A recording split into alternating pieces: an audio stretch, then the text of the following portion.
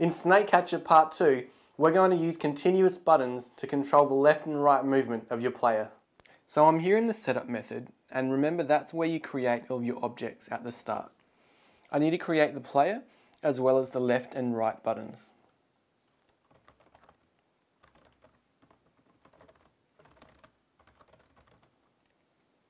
All of these variables are going to be self-dot variables. That means I can access them in the other methods below. We're going to call this one player.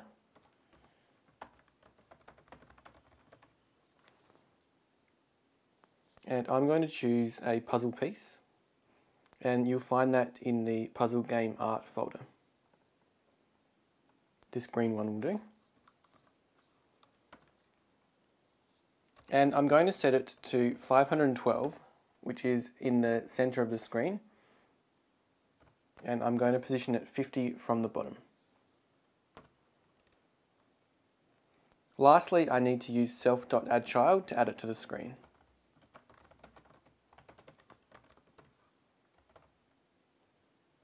Now I have to see what it looks like.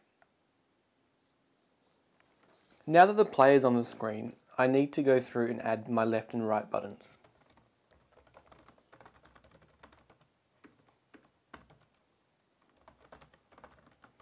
Again, this variable needs to be a self-dot variable because I need to access it further down in my code. It's going to be a sprite node and I need to go into the icons folder and select the left arrow.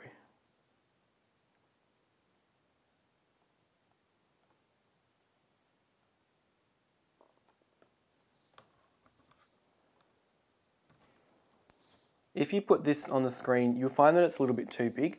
So I'm going to change the scale of it to 50%.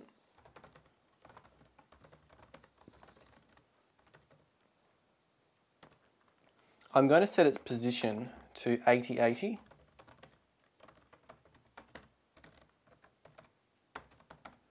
Usually when you're doing this, you would just put in some numbers and you would use trial and error to figure out exactly where it's going. The other thing I'm going to do is I'm going to set the alpha value to 0.5. That'll mean that it's half see-through.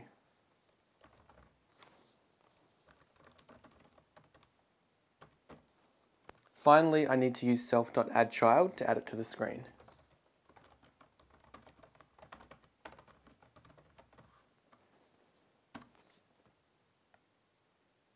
Now I have my left button added to the screen. I'm going to duplicate that code and modify it to make a right button.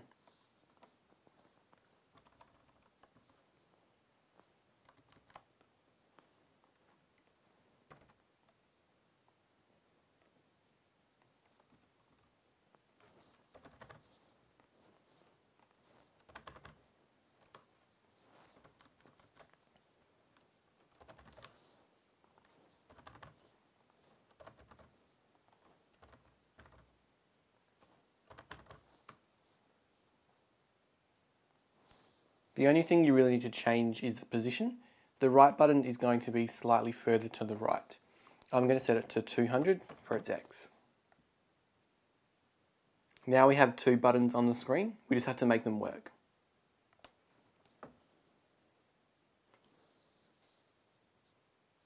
To get our buttons to actually work, we need to do some code in the update method.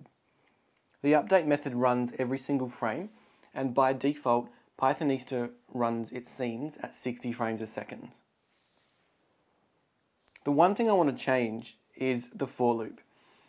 As we're going through all of our snakes one by one and shifting their positions, I want to just change this to list. I'm going to put list and then some brackets around self.snakes. That means as it goes through the loop, it's going to use a copy of the list rather than modifying the list directly.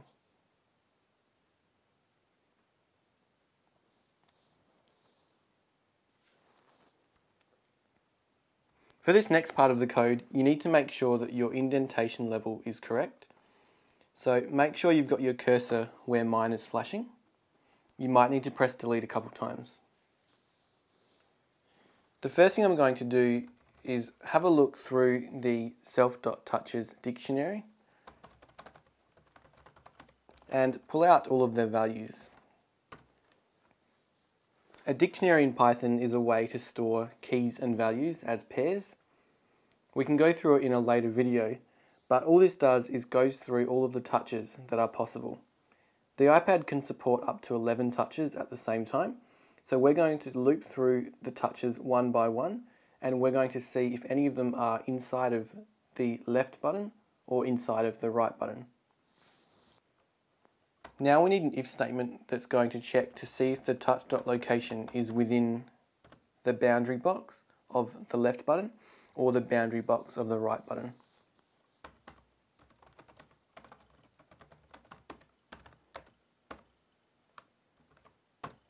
B box stands for boundary box and it represents the rectangle around your sprite node.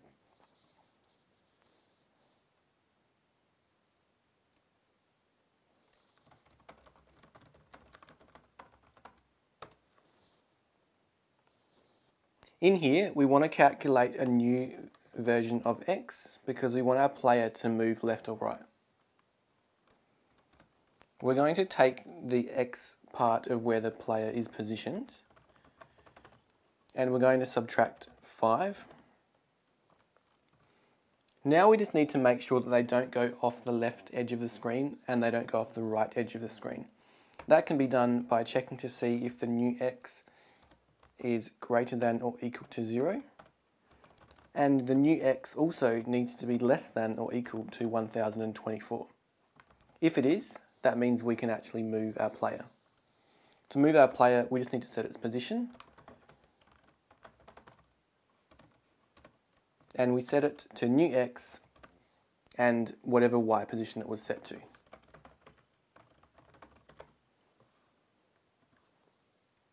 Once you have the left button working, it's now time to get the right button to work.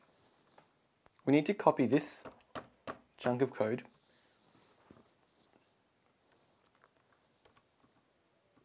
and put it here.